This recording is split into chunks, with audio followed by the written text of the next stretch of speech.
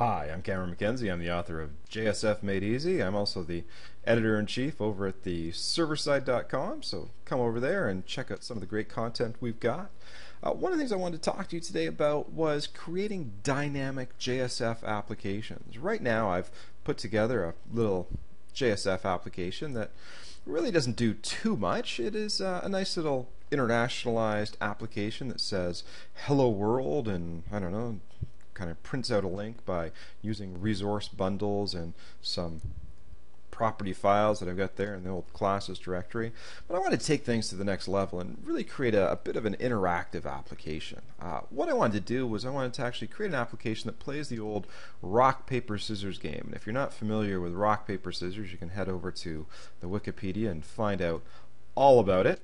Um, but I wanted to create a little application that basically looked like this. Somebody types in the appropriate URL, a page comes up with a text field, a couple of checkboxes. They can type in rock, paper, or scissors, and if they do, well, we'll indicate whether the game was a win, whether the game was a loss, whether the game was a tie, something like that. Basically, make it interactive where somebody's typing something in and the server is responding to what was typed in. Now, by the way, we're going to keep this fairly simple. Um, on the server side, I'm always going to click rock, just kind of like Kramer plays uh, every time in Seinfeld. And so the result will be based on the server clicking rock. The client can type in whatever the heck they want. So how do we do this? Well, the first thing we're going to need is we're going to need a Java bean. Uh, Java beans are where our business logic is, and I'm going to create a Java bean called the game bean. It's going to be in the com dot McKenzie.jsf package, and it's going to have a, a, couple of instance variables. One is going to be called the computer gesture, which will represent what the computer has chosen. One will be the client gesture, which represents what the client has chosen. And then from that information, we'll I don't know, execute some game logic, figure out what the results are, and basically get this application going. So the first thing I need to do is I need to create my package structure. I'm going to have a, a full uh, com dot McKenzie mcnz dot JSF folder structure. And inside that JSF folder, I'm going to create a new Java bean called the game bean. .java. Now, one thing you should note, I'm actually putting my source code inside this classes directory. I'll then compile it, which will then put a .class file in here as well. If you're using a handsome IDE like uh, Eclipse or NetBeans or IntelliJ or something like that, you've probably got a source folder. Uh, I can't afford those types of gadgets, so I got to use the command prompt. So I put my source code and my compiled code all in the same location. Now, as far as this particular class goes, well, I want to start off by, at the very least, putting in our class name and, and package declaration. So there's our package declaration. There's our class name as well. I'm going to save that. Uh, I'm going to save it right now because I've got very little in here that's going to cause me any problems.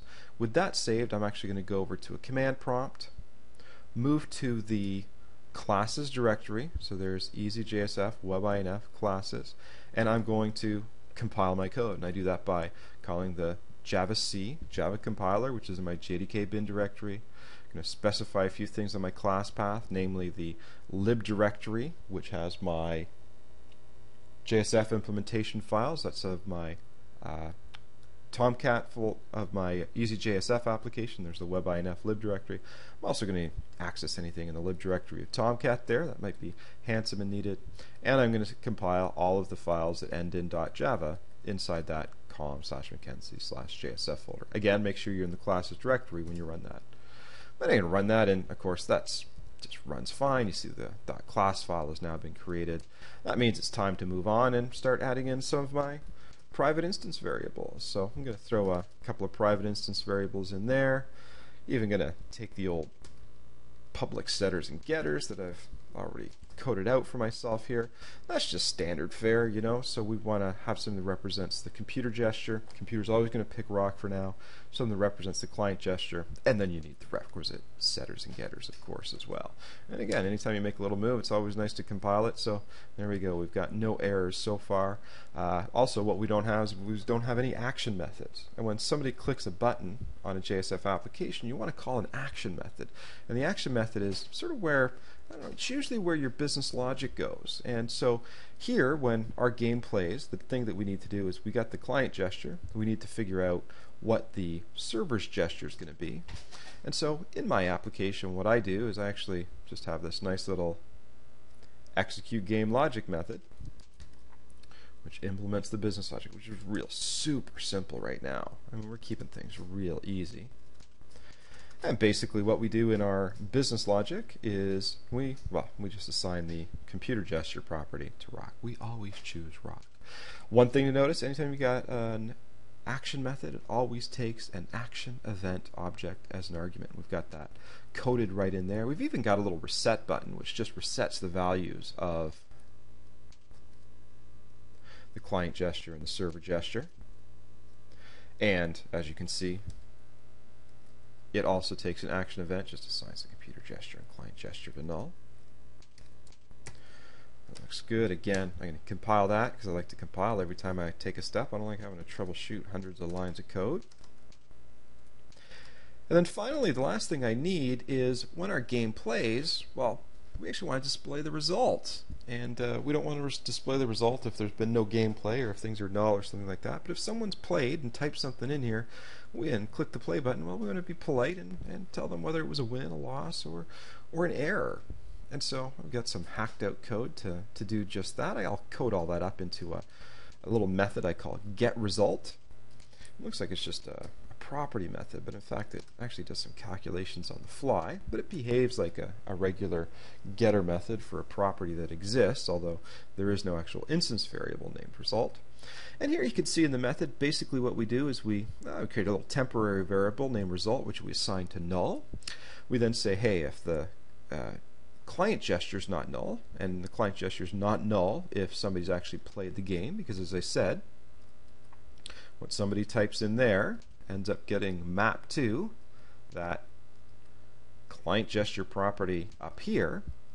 And so basically, if that client gesture is not null, if the game has been played, let's figure out what we should display to the user. So we'll start off by saying, look, if things don't work, it's going to be an error. So we'll just assign error right off the bat. Maybe it's a little pessimistic, but you know that's just sort of my personality.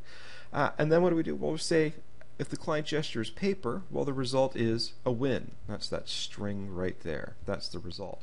Now, how can we say that? Well, remember, I'm always choosing rock. I'm kind of cheating here. I'm not taking care of the different paper scissor options. I want to keep this simple. I don't want to be, you know, writing some huge Riot Games application here. This is going to be simple. If so, if the client types in paper, it's a win. If the client types in scissors, it's a loss. If the client types in rock, it's a draw. And if the client types in senior X stop lapa kettle, well, there's going to be be an error. And one of those four strings is going to come back to the user. Now note, if the client gesture is null, then the result is null, and null gets sent back to the user. If null gets sent back to the user, nothing appears because, well, JSF's smart enough that when there's a null, it doesn't display it. Well, at least it tries not to, anyways. And so that's basically my Java Bean, well, in a nutshell there. Let me see if I can compile it. It compiles, but you know what? It actually wouldn't work right now the way I want it to because, well, this is going to be a managed bean that I'm going to throw in the request scope, and I haven't indicated that this is a managed bean. Back in JSF 1.2, if we had a managed bean, we'd kind of create a whole bunch of stuff in our faces config.xml file and we say, hey, we've got this managed bean, it's call McKenzie game bean. I want to have the name game bean with a lowercase letter g when it runs, put in the request scope. We don't have to actually do that anymore. We can. There's nothing stopping us from doing that. Um, and there's actually some compelling reasons why you might want to do that. Um, but to make life easier, one of the things that we can use in our JSF applications are these JSF annotations. And these JSF annotations come from this javax.faces.bean package. And we say, hey, this is a managed bean, and it's going to be request scoped. And if we do that, um, the JSF framework will manage our bean. The JSF framework will actually know how, by the XHTML page we're about to create, to map that property, client gesture there, to what actually somebody typed in right there, and it'll know what scope to actually put this bean in as well. So anyways, that was my last little change there I think I've got to my game bean class. I'm going to compile, and everything looks like it compiled nice and successfully. The last thing I need to do is, uh, well, actually figure out how to create that JSP that's got the input text field, a couple of buttons, some prompted text to the, the client.